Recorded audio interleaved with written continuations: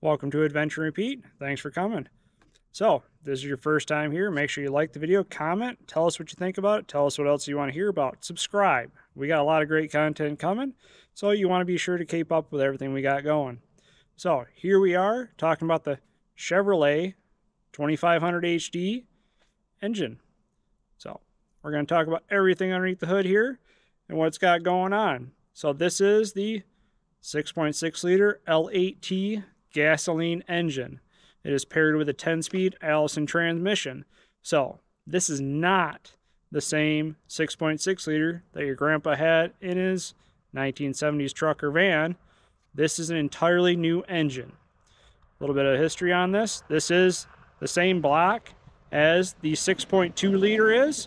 They just stroked it out more to have the 6.6 liter displacement.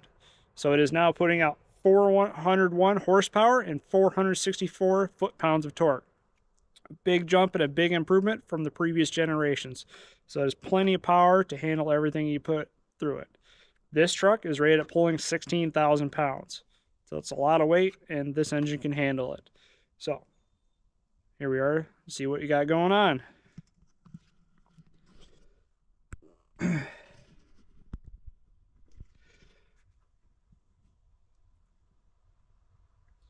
In the factory configuration, you got the standard one battery up there. You got a ground that's easy accessible, and then the cover you slide out of the way for a positive for jump starting, or just putting a regular battery charger on it. It could have a second battery option right here. We do have a battery kit coming on the way, so we will have a second battery down the road. But as they come, it's just a single battery. Air filters up here, nice and easy to get to, not too common to have to find that or fight with that. So engine coolant, and it's way up here in the corner, along with brake fluid, windshield washer fluid. They actually put in the fender out of the way over there, which normally they're off to the side anyway, so that's not a bad place to put it. Power steering is right there, along with the power steering pump. It's nice and high and easy to get to. One thing I've enjoyed about these engines is once you get the airbox out of the way, you can still get to the, the serpentine belt. So that's nice and easy to get to. And then you can see the top of the engine clearly. What I like about this is Dodge. They push their engines way farther back underneath the doghouse. So it's a lot harder to get back there and work on these engines. These ones, you pop those uh, valve cover accents off. You can get to their coil packs nice and easy. Your spark plugs are nice and easy to get to. So general routine maintenance on these engines is actually really nice to do. It's not too hard to do on any of these.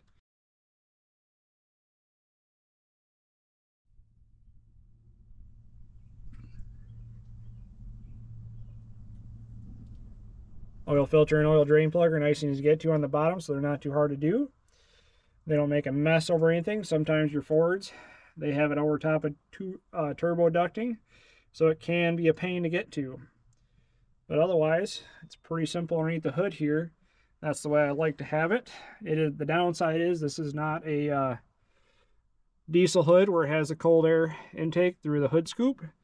It just simply pulls air from this air box, which ends up pulling air from this little pocket right here, which pulls in air from behind the grill. It is a cold air intake, but just from behind the grill and not through the hood. So that's a basic overview of what's going on underneath the hood with these trucks. It is paired to an Allison transmission. Great transmission. This is the 10 speed. Same as what's behind the Duramax. So you know it's built and it's, it's going to be reliable for this truck. So that's a basic overview of what's going on here. Be sure to like the video, comment, tell us what you think, tell us what else you want to hear about. If you haven't yet, subscribe. That helps us out greatly. So be sure to have a great adventure.